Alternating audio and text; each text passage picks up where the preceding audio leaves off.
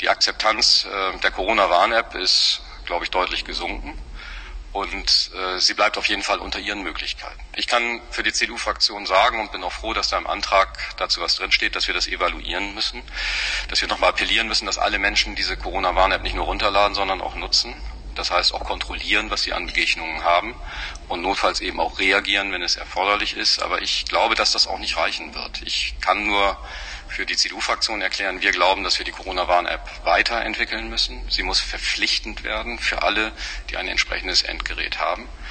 Wir verpflichten die Menschen, ihren Führerschein bei sich zu führen und ihren Personalausweis immer bei sich zu haben und die Brille zu tragen, wenn im Personalausweis, wenn im Führerschein ein Stempel ist, dass sie eine Brille brauchen. Also wir verpflichten sie zu ganz viel Mitführen von staatlichen Papieren und Unterlagen und ich finde, wir können sie auch Bußgeld bewährt dazu verpflichten, sich die Corona-Warn-App runterzuladen. Meine Damen und Herren, es muss zur Pflicht werden, diese App zu nutzen. Und wir müssen auch sicherstellen, dass wir über die Warn-App in Zukunft die Kontaktnachverfolgung digital ermöglichen können. Es ist doch ziemlich unvorstellbar, dass wir händisch das nachvollziehen müssen, was wir eigentlich elektronisch bereits erfasst haben.